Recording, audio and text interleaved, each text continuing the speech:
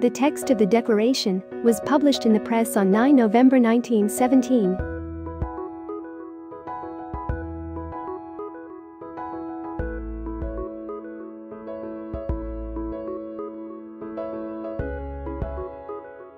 A committee was established in April 1915 by British Prime Minister H. H. Asquith to determine their policy towards the Ottoman Empire including Palestine.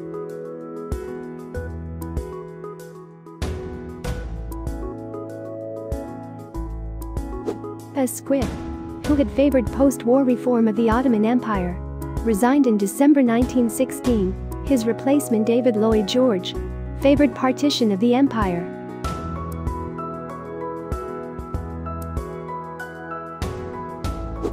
The first negotiations between the British and the Zionists took place at a conference on 7 February 1917 that included Sir Mark Sykes in the Zionist leadership.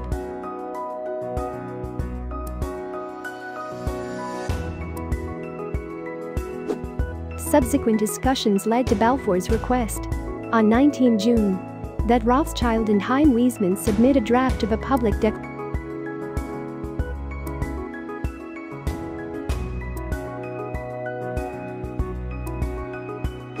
Further drafts were discussed by the British cabinet during September and October. With input from Zionist and anti-Zionist Jews, but with no representation from the local population in Palestine.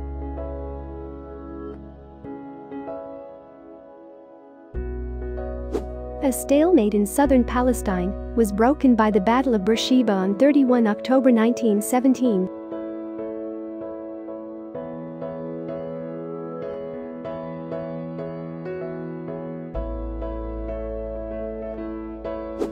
The release of the final declaration was authorized on 31 October.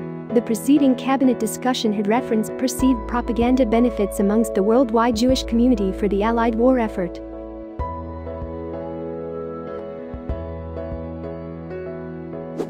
The opening words of the declaration represented the first public expression of support for Zionism by a major political power.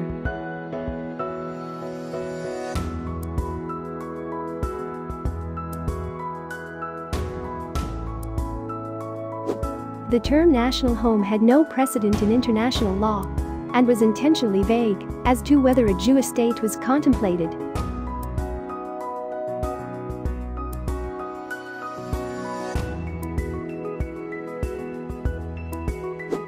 The intended boundaries of Palestine were not specified, and the British government later confirmed that the words in Palestine meant that the Jewish national home was not intended to cover all of Palestine.